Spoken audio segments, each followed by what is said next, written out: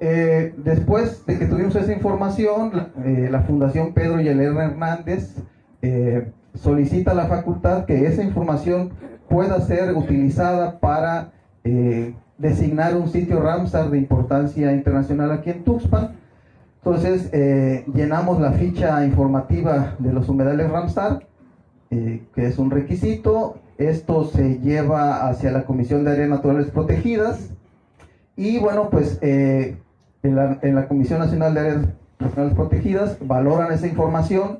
Si la consideran que es idónea, pues entonces ya proponen ante la Convención de Ramsar, que tiene sus oficinas en Suiza, que la consideren como de importancia internacional.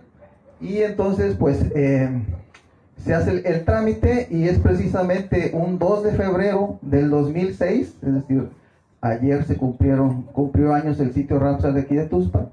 El 2 de febrero del 2006 se incorporan con el nombre de manglares y humedales de Tuxpan y nos dan el número 1602.